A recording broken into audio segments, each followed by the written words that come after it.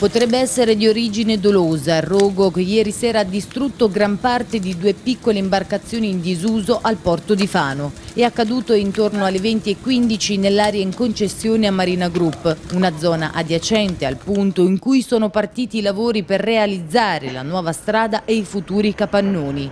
Ancora oggi era possibile sentire il forte odore di fumo in tutto il lungomare mediterraneo. Secondo la società che riunisce imprese della cantieristica e del della pesca e chi ha la zona in concessione, si tratterebbe di un atto vandalico perché a differenza del passato, dicono, ora non ci sono tensioni all'interno del porto o almeno così sperano.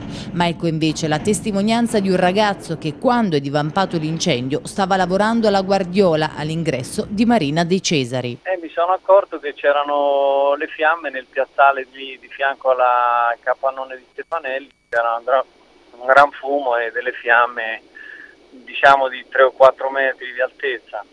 Ma le imbarcazioni sono andate a fuoco in momenti differenti? È andata a fuoco prima un'imbarcazione di circa 6 metri, 5-6 metri di lunghezza e fianco c'era un'altra imbarcazione, quindi di conseguenza ha preso fuoco anche l'altra di fianco. Penso che sia un incendio doloso, credo. Eh. Comunque eh, non c'è elettricità in quelle barche, cioè sono barche in secca, quindi non, è, non credo sia possibile che sia un incendio dovuto da, eh, da qualche le, qualcosa di elettricità insomma. Poi eh, abbiamo allertato i vigili del fuoco, sì, c'era un altro signore vicino a me e abbiamo chiamato i vigili del fuoco e sono arrivati diciamo subito, 3-4 minuti. Oltre ai pompieri sono intervenuti per accertamenti la Capitaneria di Porto e i Carabinieri che indagano sull'accaduto per capire le motivazioni e scoprire eventualmente i responsabili. Ad essere ascoltato dai militari anche il clochard che bivaccava abitualmente su una di queste barche.